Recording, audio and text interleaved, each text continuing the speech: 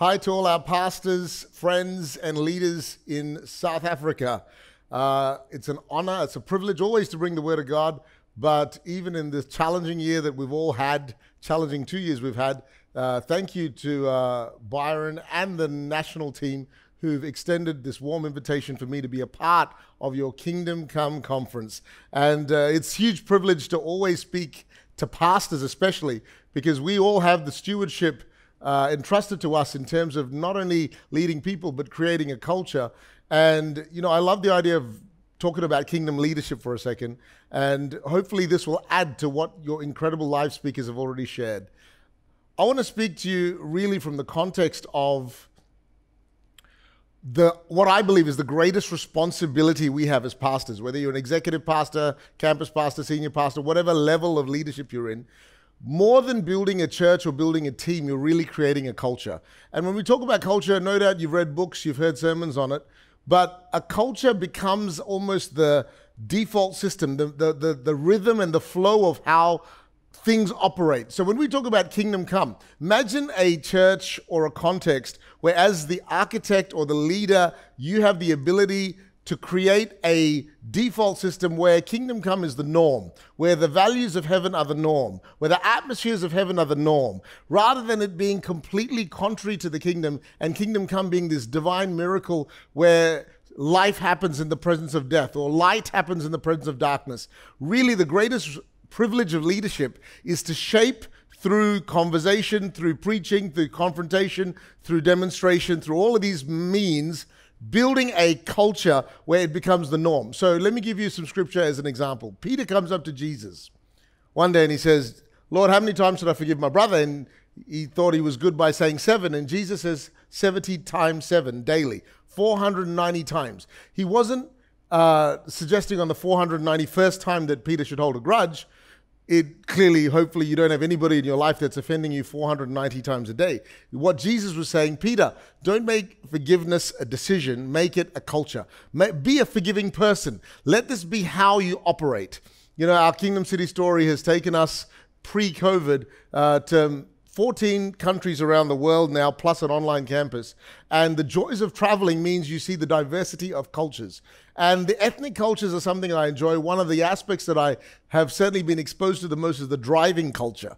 So uh, in Malaysia and Australia, completely different driving cultures.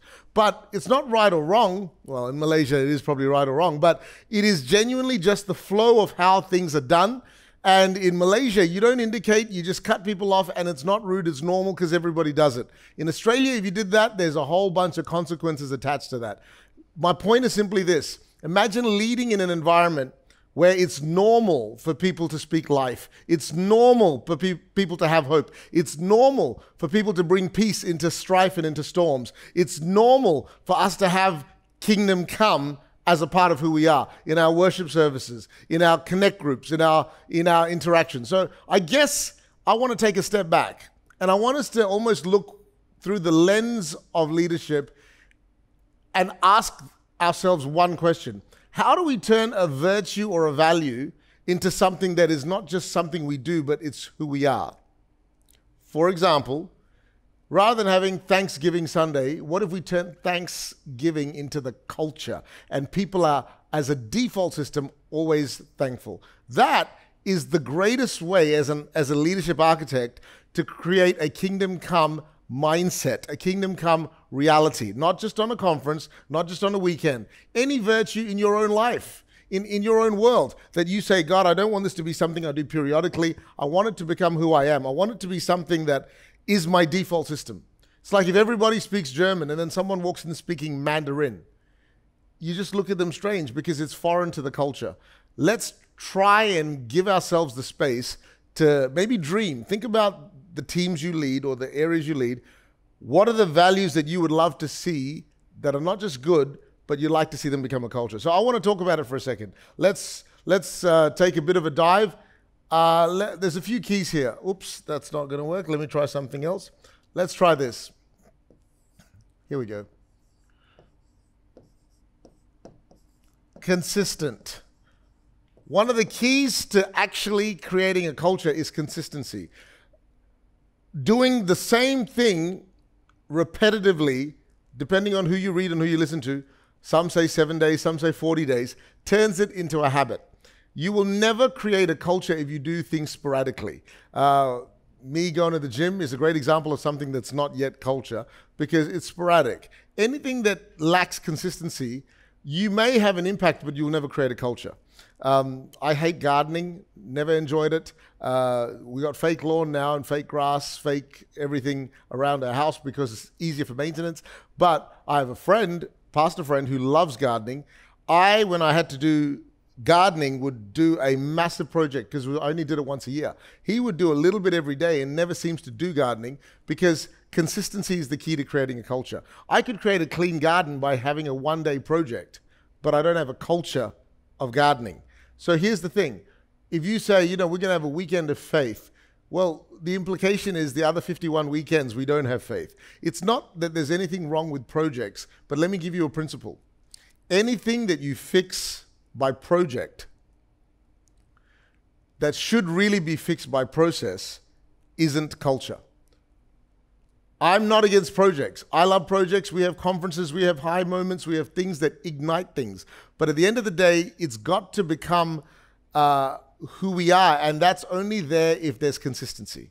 So I want to encourage you: look at anything that you're saying. Why isn't this? Why isn't hunger for God a culture in our church? Well, is there consistency with it, or do you just have it periodically? And there's nothing wrong with our programs. I think we should use our programs strategically and intentionally to ignite things from time to time. But ask yourself the question: if it's ever going to become a culture, if Kingdom Come is going to become the norm, what aspect of Kingdom culture do I need to make a regular part of who we are?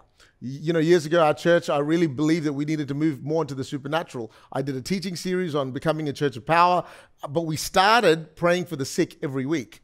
See, if you only pray for the sick once a year, you may get some miracles, but it'll never be a culture. Consistency is a huge key. Here's another word that I hope will help unshakable. Unshakable. If you have a consistency with your practice, but you don't have a conviction about why you do it, you'll have a habit, but you won't have a culture. Let me carry on with the example about the, the praying for the sick thing that we try we started a while ago. So we did consistently pray for the sick. But what I realized is there were some people who fundamentally still struggled with the idea that sickness uh, maybe wasn't from God, and you know maybe God provided it. He certainly allowed it, and there was always going to be a consistency about praying for the sick, but until we started to break that down and teach revelation so that they had a conviction that God is good, the devil is bad, God wants you healed, the devil wants you sick, and actually cementing the why behind the, the, the consistency, uh, we never really would have had a culture. So I want to encourage you. Maybe the areas of your life, maybe the areas of your leadership, you're like, we're consistent with it. But maybe there are fundamental roadblocks. You know, whenever the enemy comes in and sows division, he sows doubt, he sows confusion. Always ensure that the conviction level is there. You want to be consistent, but you want to be unshakable. You want to create a team that understands why this is important, not just what is important. Here's the third thing if you're going to create a culture, it needs to be lived. It needs to be lived.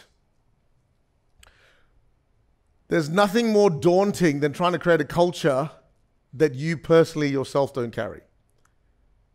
It's confronting, but it's a reality check. And whenever there's a failure in culture in a team, uh, certainly in our world, the first place I look is the mirror because as much as leadership can fail and others may not carry responsibility, on the whole, if you don't model the culture, it will never be the culture. Uh, you can teach on it, you can be consistent, you can have a conviction, but if it's not modeled, there's nothing more obvious than even as a parent seeing behaviors in your children that are foreign to your beliefs but are present in your own life. And that is the, the challenge. I see my six year old, well, he's not six anymore, he's eight now, he's nine, and he sort of walks with his shoulder, yelling into a pretend phone, barking at people. And I look at his mother and wonder why she taught him this behavior, only to realize that it wasn't her, it was, he's just seen what I've done. See, children don't do what they hear, they do what they see. And people are the same. If we're going to create a culture, they need to see it in you. If you want a praying church, you got to be a praying person. You want a worshiping church, you got to be a worshiper yourself. You want a generous church, you got to be generous yourself. There's no way to cheat culture by hoping you can escape the responsibility of having it and yet somehow hoping the rest of the team will catch it. You could lead by instruction, telling people what to do, and create the outcome of whatever you're instructing them. But if you lead by example, you'll create a culture. One gets a result, one gets a way of living. And there's nothing more powerful than it being modeled. Paul said in Philippians, These things which you've heard and received and seen in me, these do. Because he was really compelling them not just to listen to what he said, but to observe how he lived and seeing the authenticity, the authority, the power, the conviction, he, he encouraged them. And so there's something about culture that becomes really tested only in the presence of example. So I want to encourage you, as confronting as that is, that's another reality. Here's another one testimony. If you're going to create culture,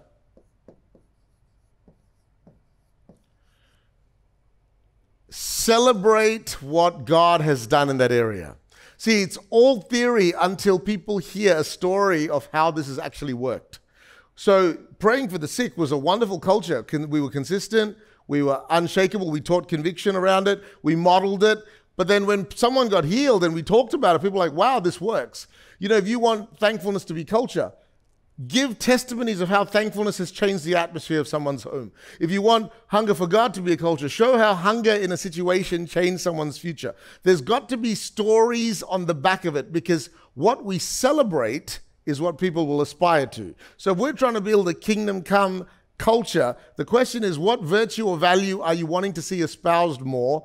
And then find stories about what God has done. And when you're first starting, you're like, we don't have any find, borrow, Google, talk about what happened in that country or that pastor or that leadership area or that setting. And what it'll do, start to build faith because what does it do? It establishes credibility that what we're saying isn't just uh, uh, about a habit, it isn't just about a theory, it isn't just something that one or two does, it actually begins to work.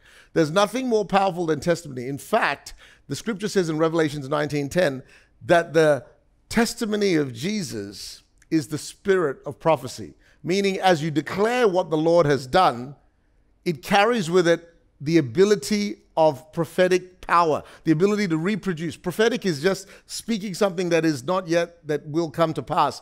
And the testimony of Jesus, speaking out what the Lord has done in your life, in your world, in your context, to the listener isn't just celebrating a story, it brings almost this pregnant potential of possibility again because as you declare it, it starts to become uh, in the air in the realm of possibility. And there's nothing more powerful to actually turn a value or a virtue into a culture than a string of testimonies talking about what the Lord has done, because I can promise you that will have a contagious effect. But we shouldn't stop here because right now, CULT, we have a cult. And uh, if you turn the video off, it's going to be bad. So I'm going to keep going. Uh, I'm going to run out of room here, but I'm going to try. The next U stands for unapologetic.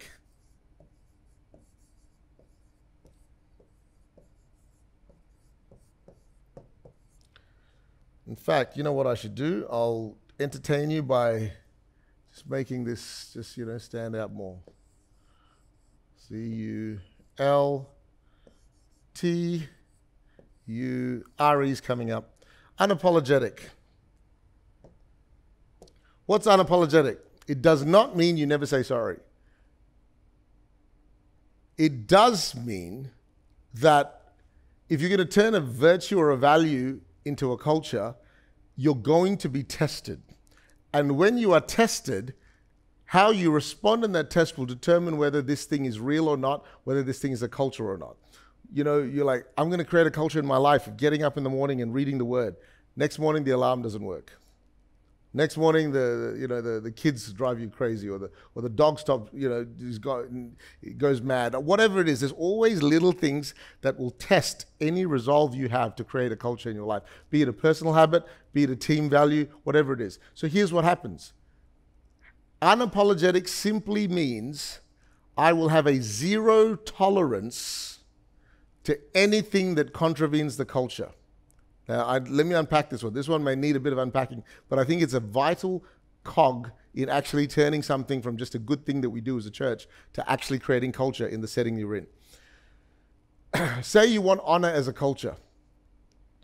And in speaking honor, you're consistent, you're unshakable, you, you, you're honoring, you share some stories about honor, honor.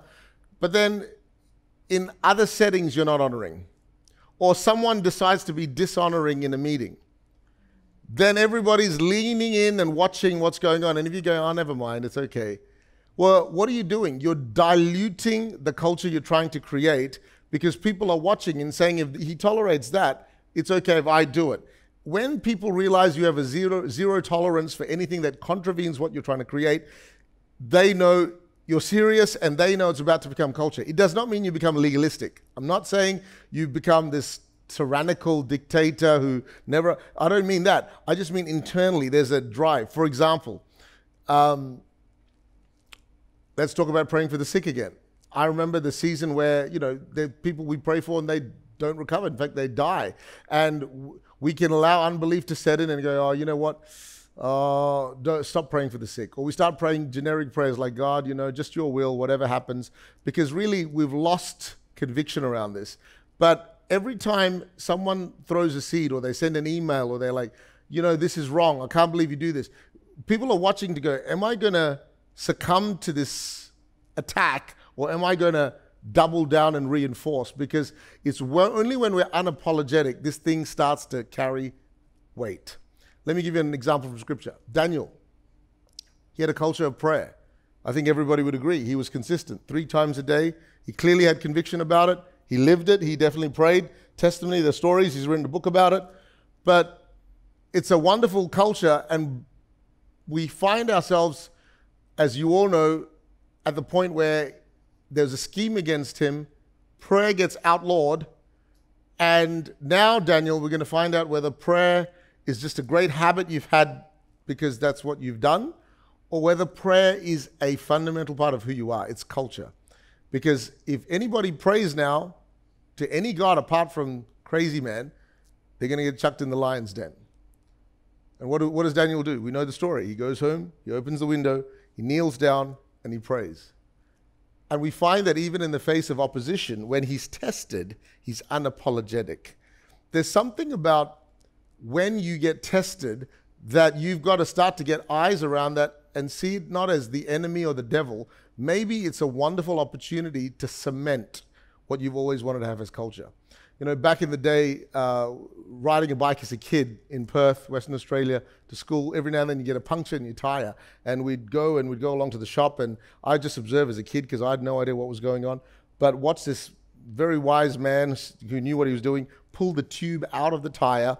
And I didn't even realize there were tubes and tires, and you could see where you know, sometimes you could see where the pierce was, it was tearing, but there were many times you couldn't. It was quite subtle. So if you couldn't tell where the where the tear in the tire was uh, in the tube, he would actually get a bucket of water, and he would take the tube and he would actually put it under pressure and he'd hold it under the water, and then he'd sort of move the tube under the water and sort of almost like try and get different parts of it underwater.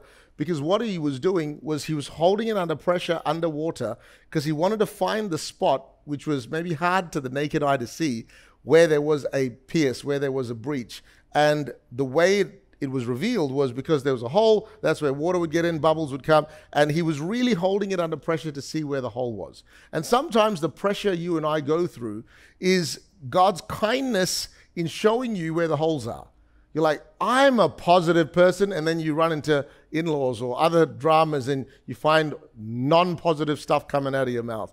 It's only in the presence of pressure we find out whether what we think is an ideal is really a culture or not. And it didn't matter what the area is. You might be a strong person of faith, but then when faith gets tested, we find out if faith is stronger enough to be a culture because you're unapologetic about it.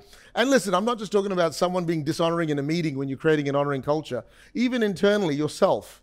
What do you believe when everything gets shaken and tested? And anyway, the pressures of life is God's way sometimes of showing us where the holes in our culture actually are. But then what would happen is he would get out, he found out where the hole is, he'd dry it off, he'd get a patch of uh, you know, a thing to seal it. He'd put some glue on it and he'd fix it. And I thought, great, we're done. Nope. He would take it back. He would wait for it to dry. And just when I thought it was done, it wasn't done. He would actually put it back in the water. And I'm thinking, why is he doing this? He's just fixed it. But he would do the same process again and he would hold the, the tube very strong and he would put it underwater because now, this time, he's not doing it to find the hole, he's doing it to prove the fact that there is no hole. And sometimes, while the pressure in our life reveals the hole in our hearts, there are other times you'll go through pressure and go, wow, that, that didn't kill me. I didn't fall apart when they did that.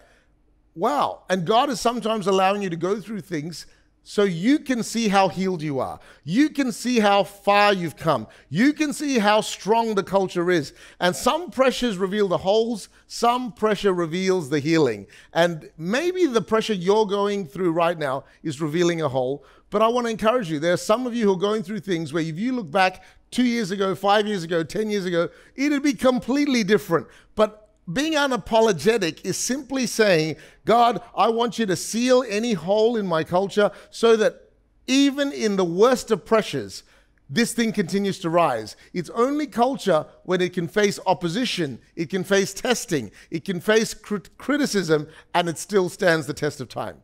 You know, being thankful or being honoring or being prayerful or being hung- hungry for God, any virtues of the kingdom.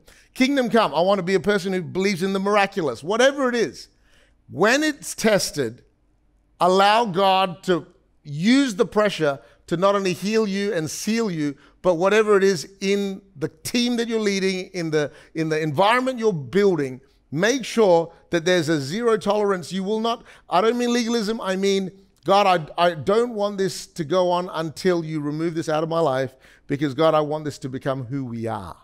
In the presence of pressure, we find out. So there you go. Consistent, unshakable, live, testimony, unapologetic, and two more. I'll give you them both straight away. Reinforced. And E stands for everywhere.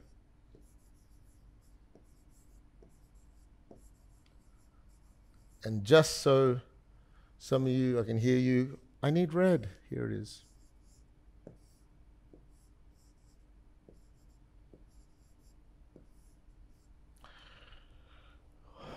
If anything is truly going to become culture, it needs to be reinforced everywhere. Reinforced speaks of depth. You know, when you reinforce a chair or you reinforce a bed, you're strengthening the foundations so it can carry heavier weight.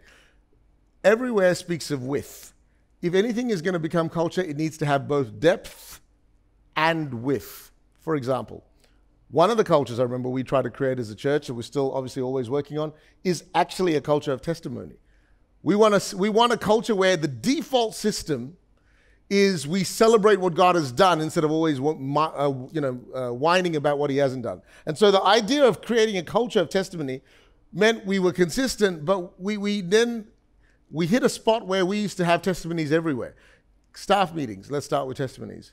Campus meetings, let's start with testimonies. Anyone got a story about what God has done? Testimonies on news, testimonies live, testimonies in connect groups, testimonies when we meet. Why? Because when you give it width, when you give it depth, it's far more likely to become culture. We've got to take any virtue, any kingdom value seriously enough to say it's got to be reinforced over and over again. Don't go, well, we've already done it and stuff. It's reinforced. Do it again and again and give it depth. If you're really going to have a generous spirit, you've got to have depth to your generosity. A one off generosity is not going to create a reinforced strength. And then you've got to not just be generous to some people, you've got to be generous to everybody because unless that's who you are to everyone, it's not really culture. It's just segregated behavior. And I want to encourage you that really, if we're serious about a culture, we're going to have to learn how to make sure we close the gaps on not just having it in some parts and not in other parts. It's got to be reinforced everywhere. So there you go a consistent, unshakable, lived testimony that we unapologetically reinforce everywhere. It is not just a sentence, it's actually, for certainly for me, I use it as a litmus test as to why things aren't working. So, for example, if I go, man, I, I feel like prayer is not a culture in this area or this campus or this, or, or in, even in my own life. I go, why? Is it that I've lost consistency? Is it that I've actually lost belief? I'm not unshakable about it anymore. I've stopped modeling it. Is that why the team don't have it? Maybe we've stopped celebrating what God has done through it. Maybe when it got tested, we just gave up. Maybe it's not reinforced everywhere. It's only selectively, periodically used. And listen, as architects of culture, as leaders in our field, what we need to do is we're really responsible for creating a flow. It's not a legalistic thing. We're never going to get it right. We have values at Kingdom City, we have atmospheres, we have things that we want to not just be part of what we do, it's who we are. But but but with such a diverse church, with so many different age groups, different backgrounds, different settings, everyone coming in with their own personal culture. See, I actually love that. Uh, the cultural side, the dynamic side, the diversity side, I actually embrace that. I personally love that challenge. But it's founded on the fundamental premise that there's a kingdom culture that is higher. So when you say kingdom come is the theme, here's what you're really saying. Whatever Afrikaans culture is, or South African culture, or whatever culture you bring to the table, there's a higher culture that's greater. And that culture is your prayer. God, let the kingdom come to what I'm dealing with. And if there's a conflict, kingdom wins. See, when Jemima and I got married, we come from different cultures. I'm born in Singapore, grew up in Malaysia, Aussie citizen, Indian ethnicity, and really a bit mixed up, like a lot of people are in today's world. But I that was my setting, and so there was a confluence of styles and thoughts and mindsets that made me who I am. Jemima was born in uh, New Zealand. She grew up in the Philippines, half Aussie, half Kiwi. She sounds like an American, and so she's got a whole dynamic of ministry and how what's f- uh, flavored and shaped her life. And so when we decided to get married, it was a whirlwind story. It's a, for another day. But essentially, one of the discussions that I, you know, we had was, I said, well, what culture are we going to have? What are our kids going to have? And we all know the theory: kingdom culture, kingdom come. That's what we want. Not Aussie, not Asian, not this, not that. It's got to be kingdom. That's the right answer in theory. The, challenge, however, proved that when we started to decide should we do this, should we do that? Well, I don't think that's appropriate word. In my culture, that's fine. Well, it, it became this debate of do we need to find the Bible verse for who's right and wrong? And it really became this clash, which most of us, if we think of our leadership teams, never mind your marriage, if you think of the settings you're in, there's a lot of stuff we end up letting go, fighting over, maybe made, not making a big deal because we honestly we haven't crystallized what culture we actually want to have. Once you've done that, once you've said, what does kingdom come? Here's a, here's a thought, not just kingdom come, kingdom stay, kingdom remain, kingdom not just have a moment, let's have a culture. Let's let this be who we are. Let this be the default setting so that when anything anti-kingdom or fleshly or earthly comes in, it's not that we judge it, it's just it's foreign to our culture. Because if we can create a space where this is the default, think of culture like a current of a river. The stronger the culture, the more naturally you put a piece of paper, you put a little leaf in there, and without pushing it, it's going to head in a direction. Imagine having the kind of church where you put a neutral person in and people just start worshiping. You put uh, a neutral person in, people start giving thanks. You put a neutral person in, they start getting on fire for God. The sign of how strong a culture is, is you can put something neutral in it, and just because of the weight of what's happened, because there's consistency, unshakable conviction, it's lived, it's modeled, we celebrate it, it's tested, it's reinforced everywhere. That becomes generally what happens. There will always be exceptions, there'll always be outliers, but the biggest privilege I have in my role is to ensure that whatever I touch starts to look like the kind of culture that God wants for his people. Kingdom come is not only a brilliant concept, it's not only a great theme, but I want to encourage you today to think this through holistically. I'm going to give you one story, then I'm going to close. But I would suggest you use this as a not only an anagram, but a, a leadership test.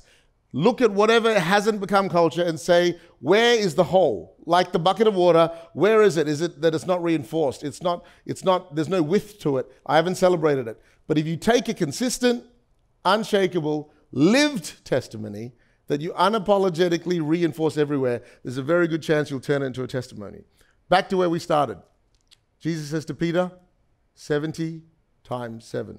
Peter, forgive consistently. Understand why I've asked you to forgive. Don't just teach everyone to do it, do it. Celebrate the freedom you've got from learning how to become a forgiving person. When the opportunity goes now, but that person I'm definitely not forgetting, forgiving. be unapologetic, have a zero tolerance for anything that'll violate that, and make sure you reinforce that everywhere. Not just Jews, Gentiles, not just male, females, everybody. I want to encourage you. This isn't something that we've got down perfect at Kingdom City, by far from it. But it's certainly a litmus and reality check as to what we're trying to create. You know, um, growing up with, just like I explained, the context of uh, cultural and even uh, spiritual tensions, I my life was divided into four. In fact, I don't know if you can see this, but if you think of a y and an x-axis, it was like that. So this is non-Christian, this is Christian, this was Aussie, and this was Asian. Now, if you think of my life, uh, you just do this to your life if you relate. If you don't, that's fine. But I want to show you how powerful a culture is. So, what happened was, I had a non Christian world and I had a Christian world. I had an Aussie world and an Asian world. And so I became four things. I had the Aussie Christian quadrant called church. I had the Aussie non Christian quadrant called school, uni, work. I worked as a lawyer. I don't mean like my staff in Kingdom City are not Christian. Uh, we got the Asian Christians, which is sort of ethnic community that we all had to mingle with because, you know, we were migrants and we had to hang out with them. And then we got the Asian non Christians. Um, sorry, uh, that, that was actually community, I beg your pardon because they were different faiths. This one was some community, but also family. All the Asian family that we had that were Christians. So, really, I had four different segments of my life, and I enjoyed all four. But I, what was my prevailing culture? I don't just mean ethnicity, I mean even conviction on both axes.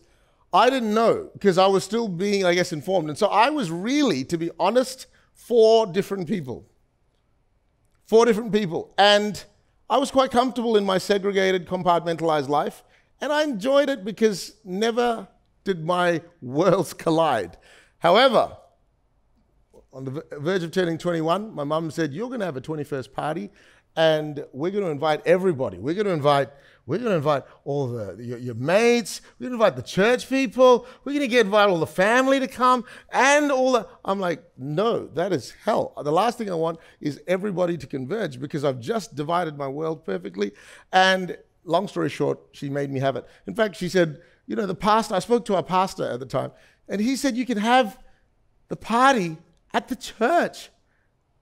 Who was the 21st party at the church? But I was sort of a little torn, but I was half happy. All the Christian side of me didn't mind it. But how on earth am I going to explain that to these guys? I didn't know, to put in a nutshell, what to do that night. I didn't know whether to pray that water would become wine or wine should become water. I didn't know what accent to use. I didn't know whether to look spiritual. I didn't know whether Jesus was a praise word or a swear word. It just depended on which quadrant. But I had left, had four separate lives. But on the once that my worlds collided, I realized I didn't have a culture. I didn't really have conviction. I had four different versions of it, but this is what's going to happen. In our leadership settings, as we continue to grow, not you can apply this to your own life, you can apply this to what you're leading. You're going to have to get to the point where, in the presence of any kind of clash of culture, you're going to have to realize who you really are, what you're really standing for, what you're really building. Because we will always have people opposing us. It doesn't mean we exclude them. It doesn't mean we're rude. It doesn't mean we avoid them. It does mean, however, however, we know who we are because I can promise you that is going to be the absolute key for Kingdom Come, not just being a conference, but being a culture. I actually want to pray for you, but I guess I should finish that story by saying I've grown since then. I have matured. I now can enjoy the diversity. You hear me talking to Asians, I sound different. I'm talking to South Africans, I sound Aussie. I enjoy the diversity of food, I enjoy the diversity of driving. I love the travel, certainly miss it now in today's world. I'd love to be there with you in person, but I think the diversity is no longer a division within me. It's a celebration of the ability to reach a wider mass. So, kingdom come is not meant to become a narrow focus. It means red and yellow, black and white, whoever's a part of your world Pray that God blesses your ministry, God blesses your church, but you'll have a superseding culture. culture of the kingdom, the culture of the king that would begin to descend upon everything you do, everything you lead, and it would become the dominant culture. And when that's the case, when that's the case, as a leader, you won't just see periodic moments of God, periodic moments of miracles, periodic moments of grace. It'll become the natural flow. And like forgiveness for Peter, every other kingdom virtue will become who we are. Let's just pray. Father, we thank you that there is right now, under the sound of my voice, pastors, leaders, people who've genuinely explored the possibilities of what could come out of this turbulent season, people considering quitting, people considering whether this is really for them. And yet, God, in the midst of all the opposition, I pray that we would use this moment to refine the culture. We would use this moment to become consistent, to become unshakable, to model, to celebrate, to unapologetically reinforce everywhere the virtues and the values you want for us, to us, and through us. And God, we pray for our teams, our churches, our congregations, our the people under our influence, God, that you would use us to not provide the trauma like I had at my 21st, but God, you would use us to be architects of a value system that would allow kingdom come to truly become kingdom here, kingdom now, kingdom stay. In Jesus' name we pray. Amen. Well, God bless you. Hope that ministered to you. Hope it triggers some really good discussion. Look forward to seeing you soon.